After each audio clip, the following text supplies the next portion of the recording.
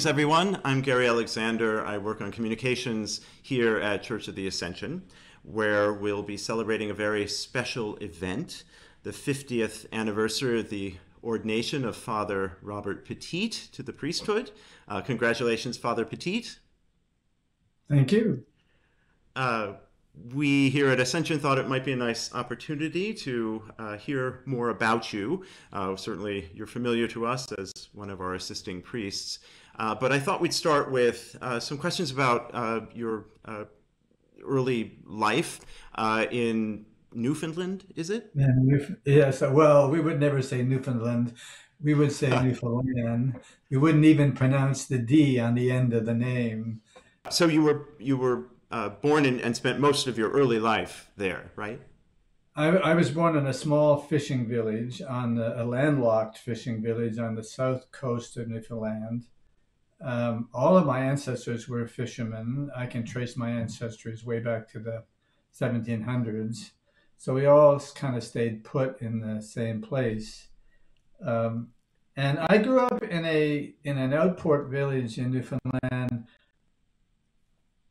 where everybody was Anglican. There was just one church. Everybody belonged to it, whether you went or not. And we counted on it for everything entertainment, school, uh, religion, of course, social work. And, and three miles away, there was a Roman Catholic community with a convent where everybody was Roman Catholic.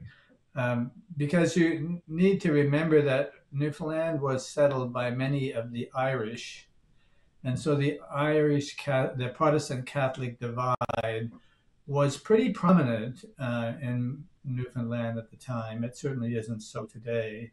The church was it as what we would consider sort of broad church, or uh... yes, yeah, uh, it it would have. I mean, would have had Eucharist on a regular, on, you know, pretty regularly, um, but uh, you know, the priests would be found more in surplice and tippet. Uh-huh. Uh, I certainly didn't know. I, I, I didn't see a chasuble until I came to the mainland in Nova Scotia. Uh, after I was nine years old. um, so you came to the mainland. You mean just to visit, or or you moved there? We moved there. My dad got a job as a tugboat captain in Halifax Harbor which is Nova Scotia. We came to the mainland. We we made a little sojourn in St. John's, Newfoundland, along the way for a year, where I went to a United Church school, United Church of Canada.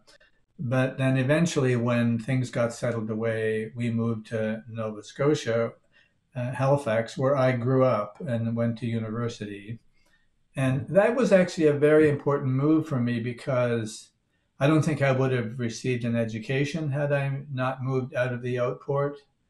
Hmm. Um, and, and life in the outport and life in Nova Scotia was fundamentally different. There just were a lot more opportunities for a, a, pretty decent education and lots of other hmm. things that make life really worthwhile living in the world. Um, and so when I was about nine years old, we my mother and my sister and brother and I all came to join my dad in Nova Scotia. And uh, he spent the rest of his career actually as a tugboat captain in Halifax Harbor. Um, I used to spend um, Easter vacations with him, and I have memories of the tugboat leaving the harbor. And we weren't even able to see the bow of the tugboat, it was so foggy. Go out, pick up a big, huge ship, all done by horns and radar, dock the ship and come back and dock the tug and never having seen the ship that we docked. Wow. That's the fog was so thick. So you can imagine how kind of dangerous and stressful that kind of life was for my dad. And uh, when did you first start to contemplate a vocation to the priesthood? I don't have a memory when I wasn't going to be a priest. Mm. It, it was always there. And I think it was there because the church was so central to life in this outport village. And I'm an extrovert and kind of want to be in the middle of everything and was very active in the church. My parents never went to church, but uh, I remember getting very angry at my parents once because I didn't have a hymn book to take to church.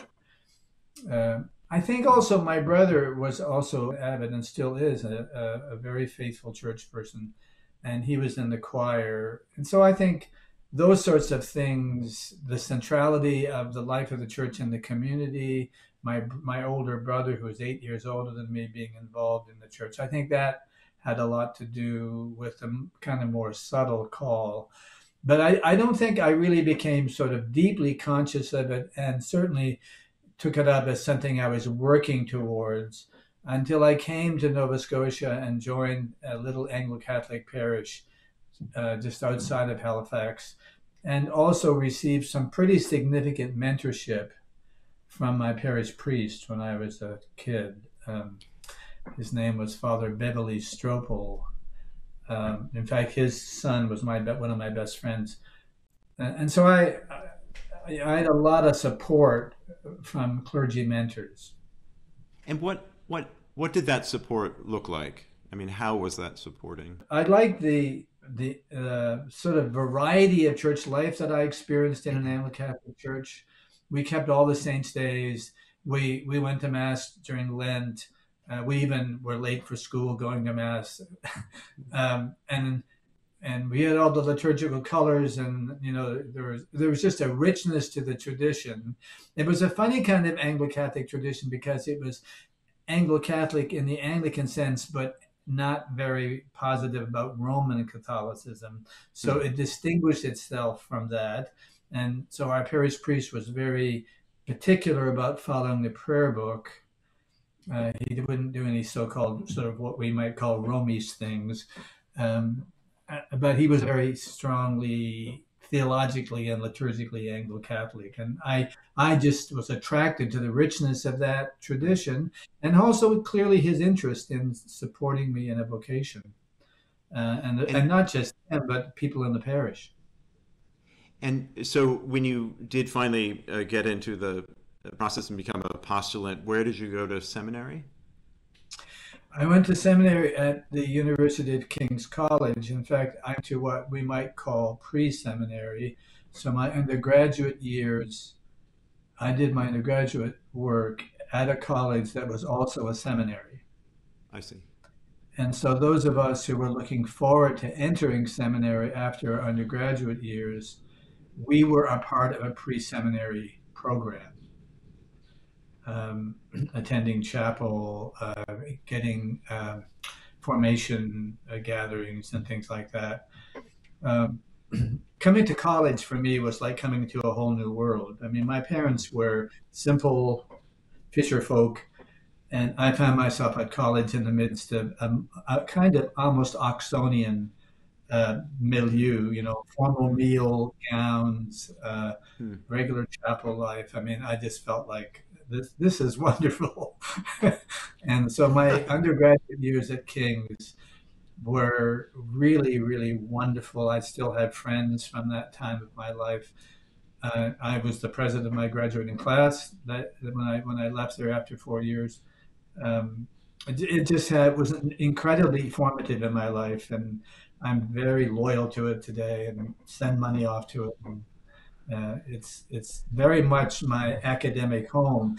In fact, on my on my tippet at Ascension, I have the crest from my undergraduate school rather than the crest from the school where I got my doctorate, because I feel much more connected to my first alma mater. So, in uh, 1972, uh, you were ordained to the priesthood. I was just thinking about the time. Um, certainly in this country, we're in the midst of the Vietnam War, and there were lots of there was still a lot of social upheaval from the 1960s. I know things were a little different in Canada, but I, am just curious about uh, how the Church of Canada at the time, the Anglican Church of Canada, sort of interacted with uh, the world around it, with some of that social upheaval. Uh, was it inured to it? Was it engaged in it?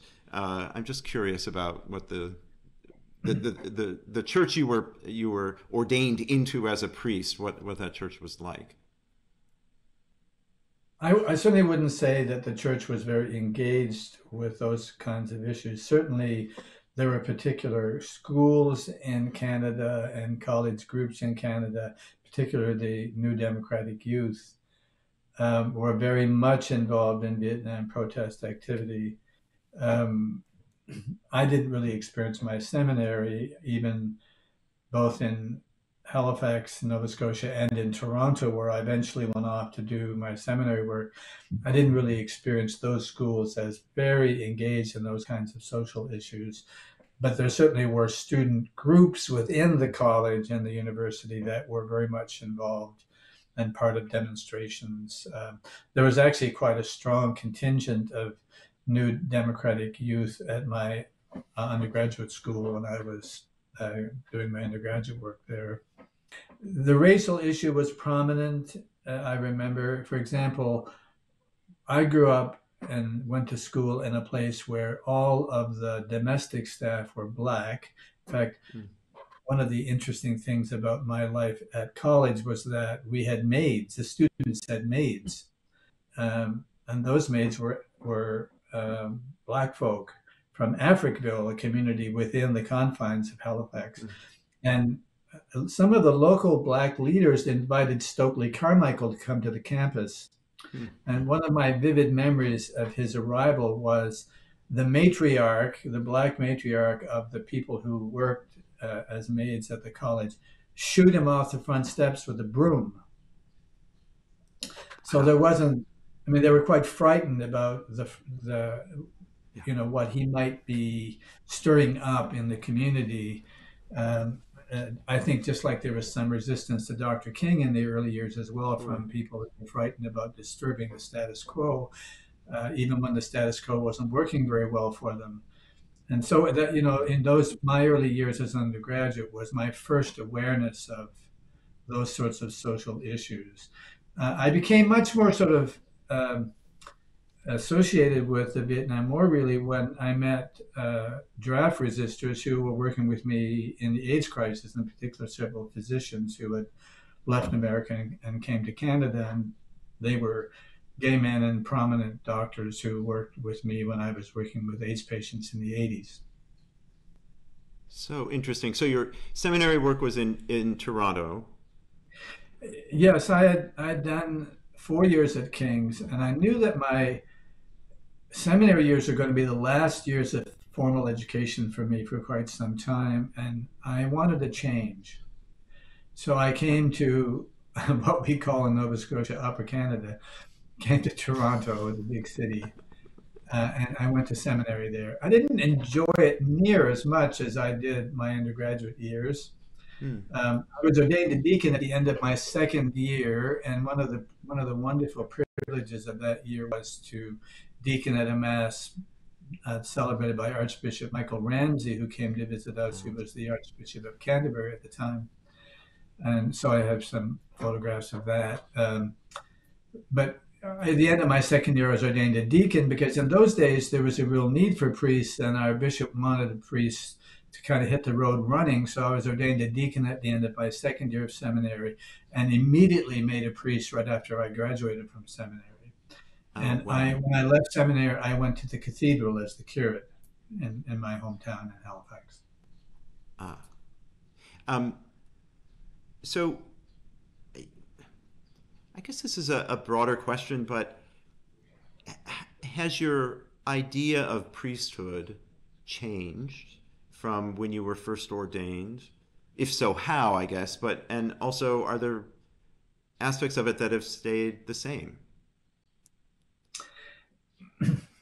Well, I've always been a priest that has been very theologically oriented, so I've always done a lot of reading and ref- theological reflection. Um, I certainly was a sacramental priest and a priest who liked to preach. And that spirituality of the Eucharist and preaching, the ministry of word and sacrament, stayed with me throughout, I think, the entirety of my ministry. Uh, even when I left parish ministry, I was fortunate enough eventually to uh, find myself in a kind of medical environment that still allowed me to really practice parish ministry with uh, Eucharist every Sunday and preaching every Sunday. So you know, my my identity as a priest in word and sacrament has been the constant. I mean, as you know, I went, I've gone through a time in my life and an age where things were very much up and down in the life of the church, and much has changed over these years. And uh, I think that notion of a priest of word and sacrament just stayed with me. I, I, and I think it stayed with me because I had that kind of mentorship as a young person, even before I went to seminary.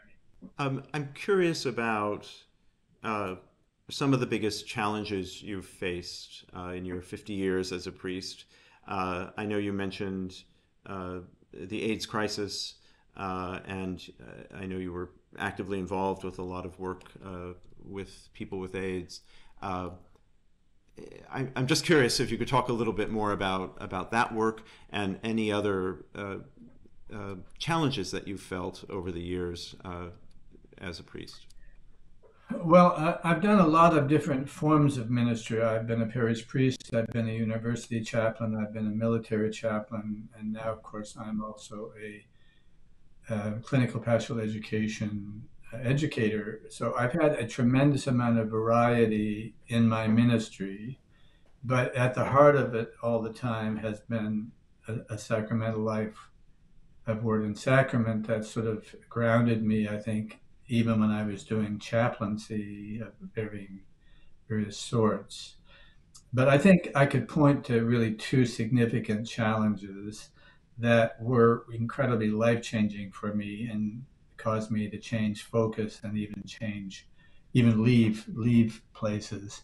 Uh, the first thing is that when I was 27 years old, I came out as a gay man, and and that was for me, at any rate, uh, certainly it's not the case for everybody, but a very traumatic experience. It was an overwhelming experience that took me years to really adjust to. I, you know, I I, I didn't I wasn't the father I thought I was. I wasn't the husband I thought I was, and I certainly wasn't the priest that I thought I was, given the way and the attitude that the church had towards gay people in those days, back in the in the seventies, the late seventies. Um, so that was the first thing. I, I, I, the way I would describe it, I think, is that I had five years of pretty significantly intensive grief work to do, mm. um, and also I I really felt that I couldn't remain a priest. In fact, after several years, I resigned uh, my post in the parish, uh, and my bishop refused to accept my resignation. Hmm. And ended up offering me a different parish, and, and he invited me to go for nine months and see if I could kind of work things out a little. And I ended up staying nine years, and it was during those nine years that I did, I think, the very important internal work of I sort of reconstructing myself as the person that I really was. Uh, and also a time when I began the ministry with AIDS folks. Um, I think the thing I want to say about being gay, being Christian, and in particular being an Anglican, is that even though the time was extre- extremely difficult for me, very painful and difficult and disruptive, I never once doubted that my tradition could comprehend me. I knew that if I worked away at understanding the tradition that I had grown up in, Anglicanism, and its roots and its richness, that I would find myself in the midst of that work and that study. And that was certainly the case. Um, I, I did a lot of internal work and, and you know there wasn't the kind of resources that are available to young gay people that there are now and so I had to do a lot of searching and a lot of work and I had to risk I I went out and, and entered into the gay community and found a lot of support there hmm.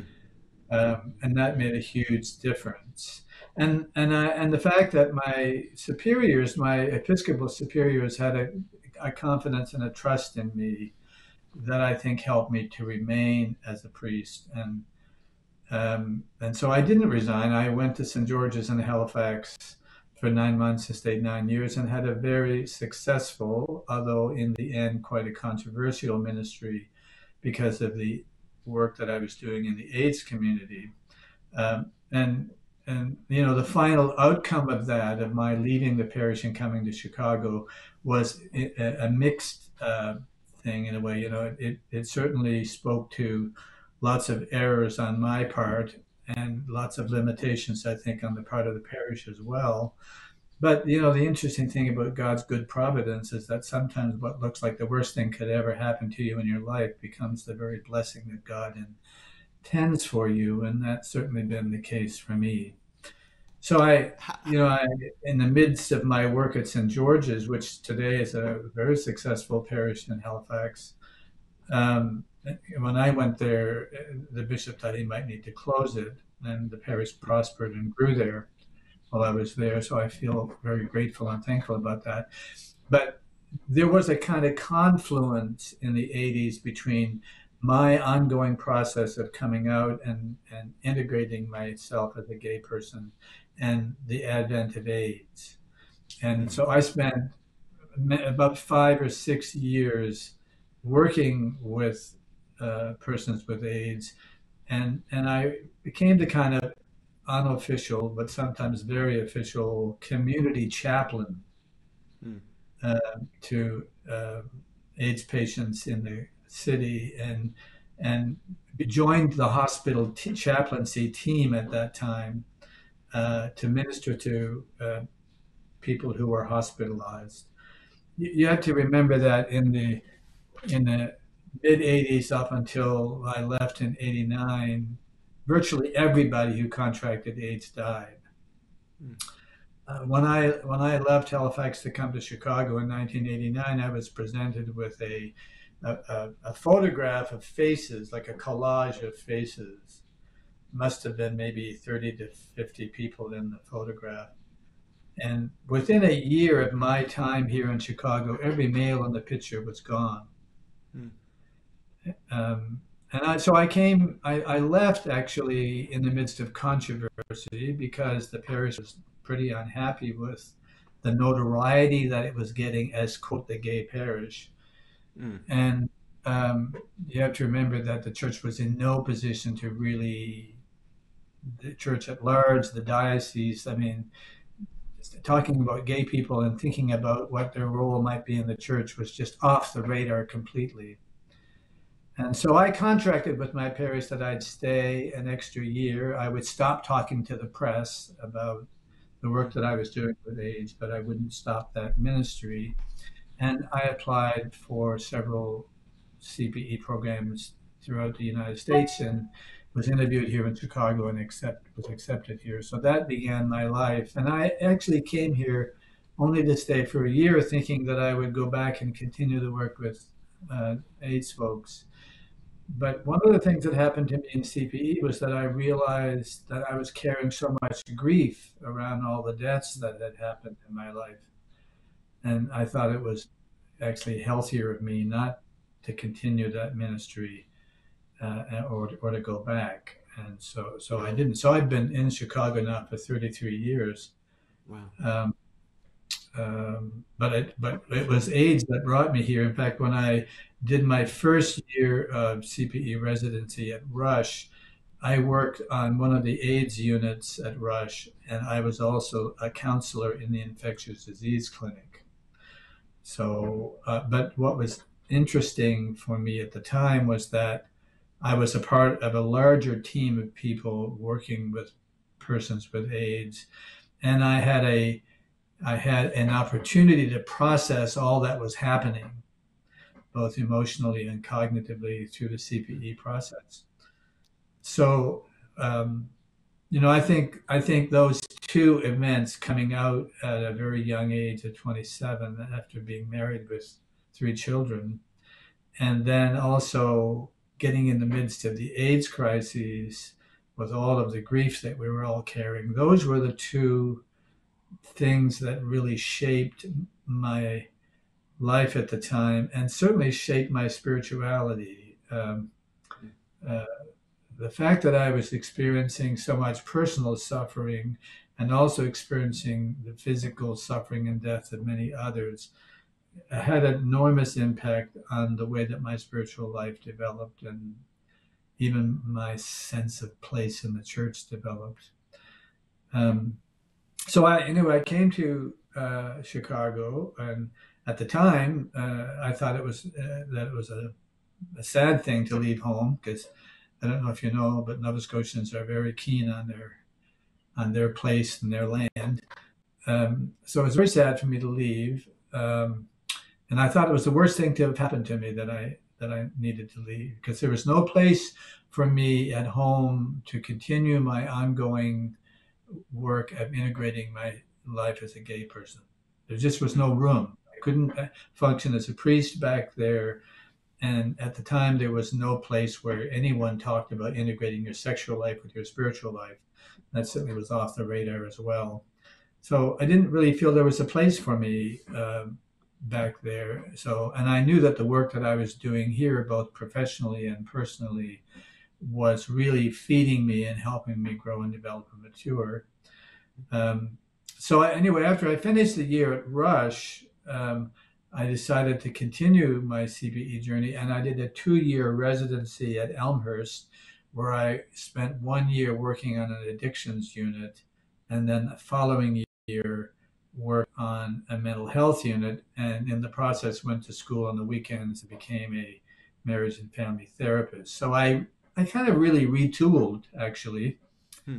uh, and thinking that I would that I would um, really have a career in a hospital ministry as a chaplain.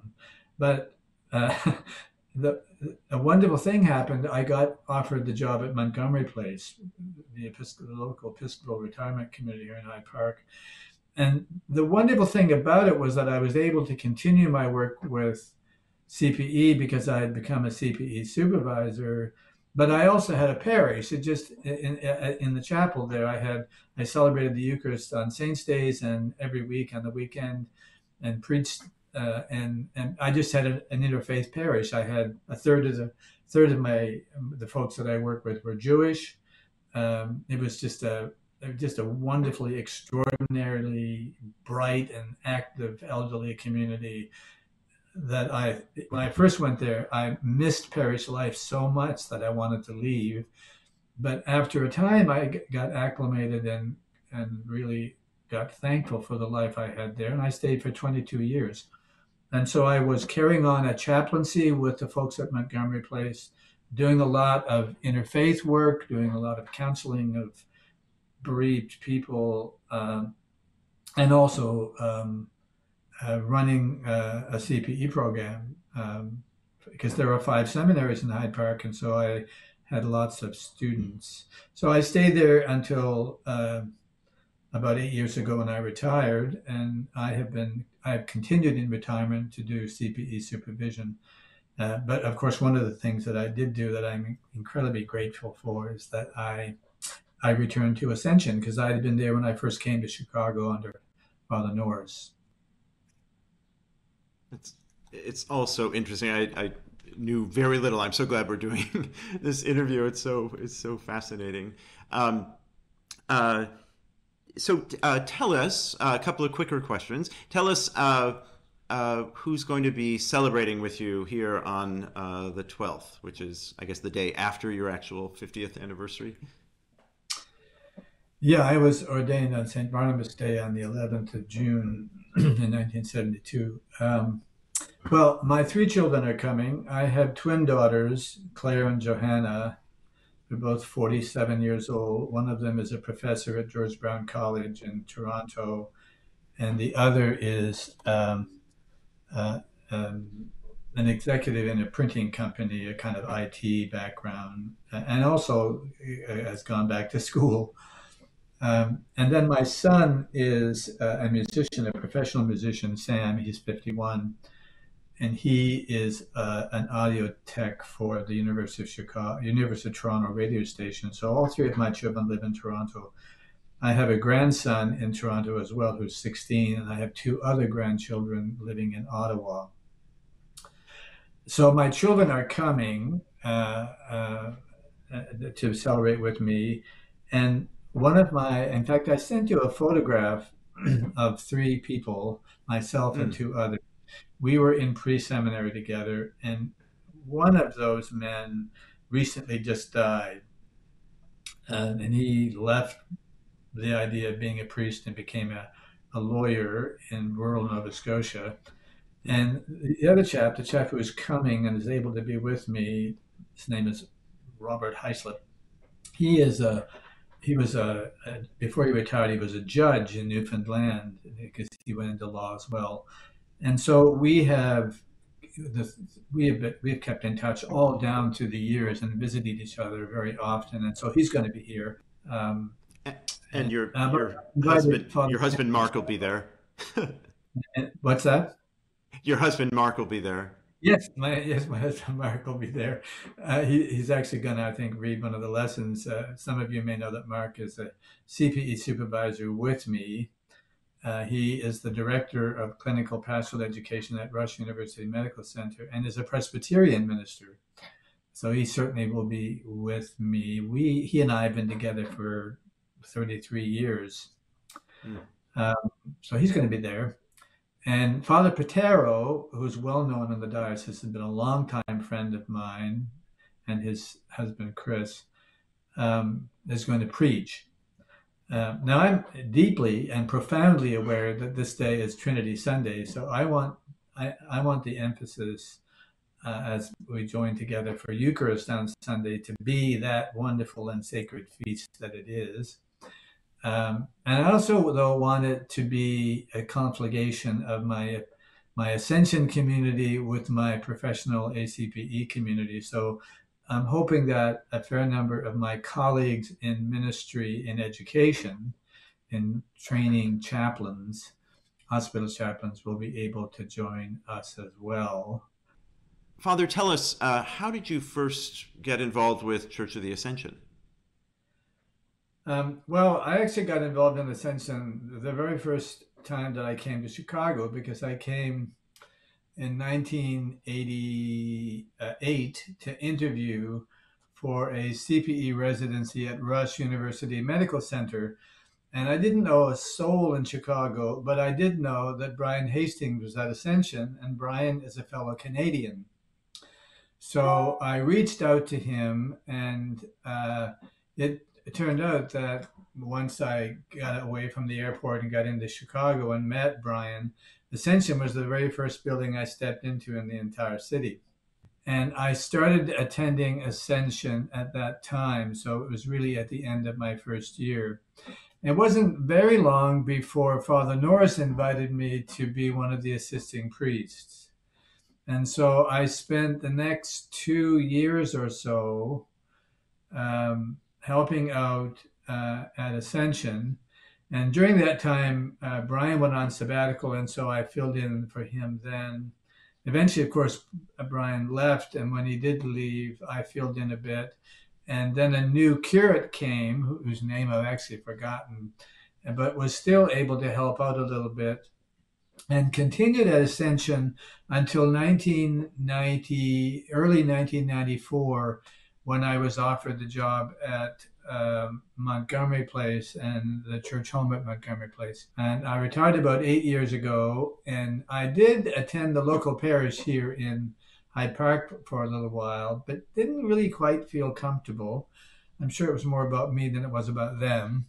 Uh, and decided, well, I think I'll go back to Ascension. Um, um, I'd often thought about that. And um, it was, of course, when I came back that I heard about all of the trial and tribulation that had happened. And I met Father Patrick at that time. And it wasn't unlike Father Norris, where eventually I was sitting in the pews and Father Patrick said, uh, Why not come and help us out a little bit?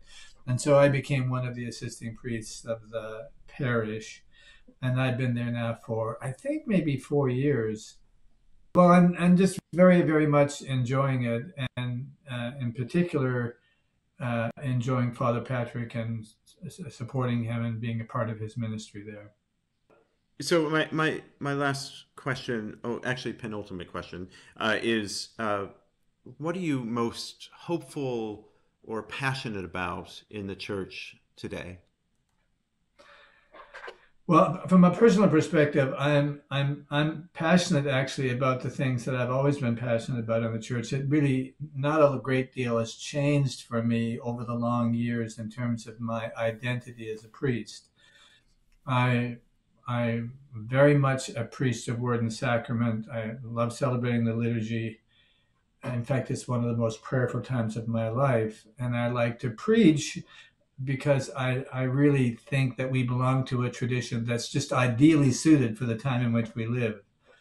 Um, I'm I'm very much connected to my Anglican tradition. It's it's my Christian family. As as Archbishop Michael Curry says, I follow Christ according to the Anglican way, and that would be me.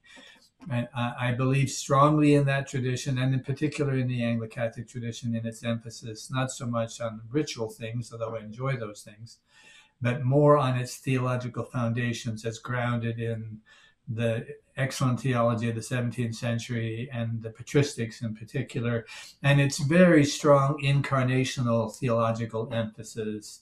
Um, th- those things really do attract me, and, and I'm I'm really a lifelong learner. So when I read a homily, I dig in like crazy on what the issue might be in the scriptures. So I'm I'm enjoying all that. I think as it pertains to ascension, I I'm learning what it's like to be in the pews.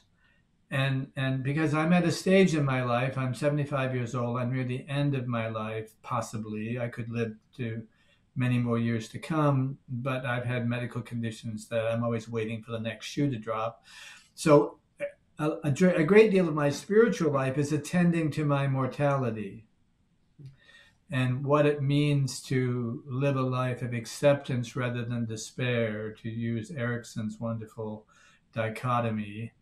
And so my spiritual life is much more urgent for me and perhaps much more personal. I'm not so much doing ministry as I am trying to work out, as St. Paul would say, my salvation in fear and trembling. I think I think it's always difficult to live in faith. It's meant to be difficult. It's meant to be a struggle, and, and a lot of people think that it should just it should just be there, but actually it's not. In the world in which we live, it takes some effort to live a life of faith. And I belong to a tradition that is rich in in uh, its appreciation of the understanding of what it means to live in the world as a faithful Christian and as a person who sees themselves as fundamentally a spiritual reality. And so I'm actually enjoying being in the pew. I'm getting a sense of what it's like for lay people to be in the pew. And sometimes I sense their concerns when I sit in the pew. What would I want if I were just a layman in this parish? What would I be looking for? So I'm, I'm always kind of aware of asking those questions coming on as the assistant, one of the assistants in the parish, I, I like my fellow clergy a great deal. I, uh, I like Father Lawler and I love working with Father Patrick, and I'm pleased that Bishop Martins is with us. And I'm certainly very pleased that Megan is with us. I think Ascension has done a tremendous thing in not only accepting women clergy, but ordaining a woman in our sanctuary and then hiring what I think is a very strong and determined young woman to be our curate. And so I'm very, very keen on supporting her and supporting Father Herd during this time of inter, uh, interim. But but most of all, I'm you know I've spent over half my ministry working with young people, young seminarians, sometimes they're older seminarians because there are people who have changed their careers and they've come on and, and they they have to do CPE because their seminary or diocese requires it. But most often I'm working with people who've just finished one year of seminary and, and working really hard to try to help them integrate their personal and, and professional lives and learning some pastoral skills that will not only help them serve their people, but survive in what I think is a very difficult ministry in this time and age. And the other piece is that I really enjoy supporting the young people at Ascension, and I'm very interested in their Anglican formation. That they've come because I think they're uh, attracted by the liturgy and the beautiful music that we have and the deep intentionality that we have in the liturgy and the deep incarnational aspects that are so present in an Anglo Catholic community.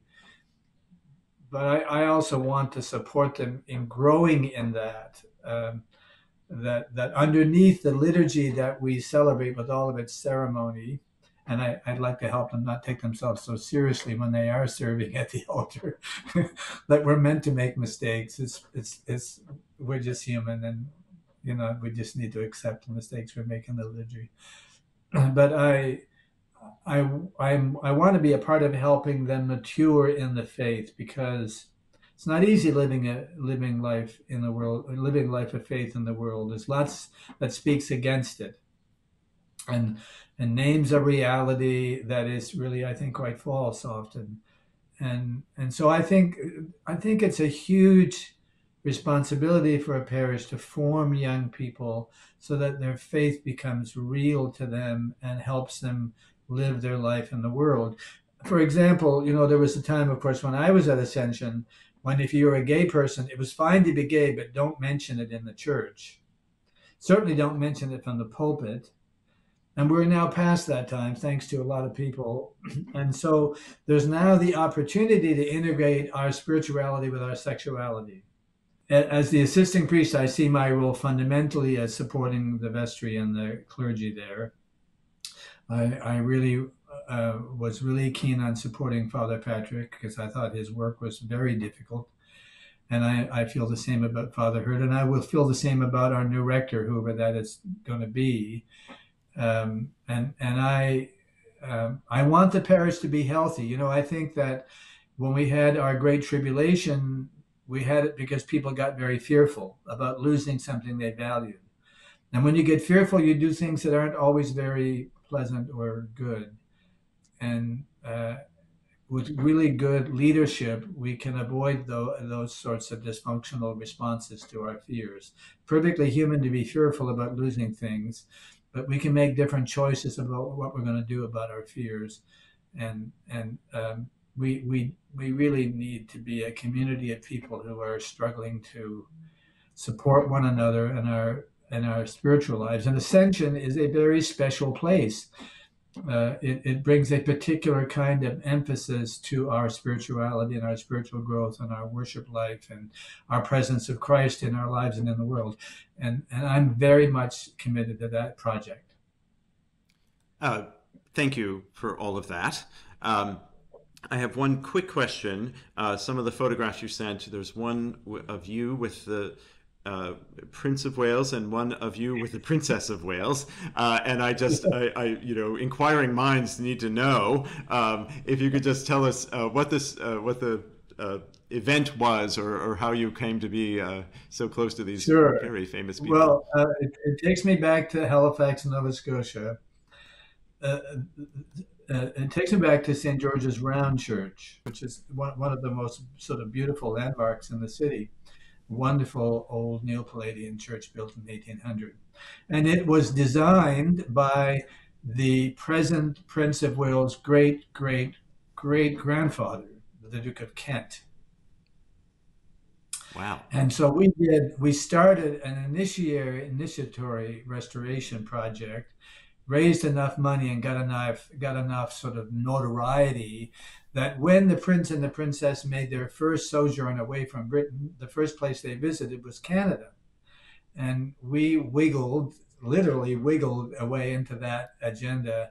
And so they came to visit the parish to inaugurate the restoration of the building. That was their, that picture was a visit uh, of their uh, time at St. George's. I have actually a funny story about that. You know, one of the things that you do when you have a royal visit is you have a guest book and you buy a really, really nice fountain pen for the Prince of Wales to sign the guest book. And so we offered him this beautiful gold tip fountain pen. And he turned to me and he said, Do you mind if I use my own? I know what it does. and so I took so he took the pen away and he took out his own pen and it spilled ink all over his hands.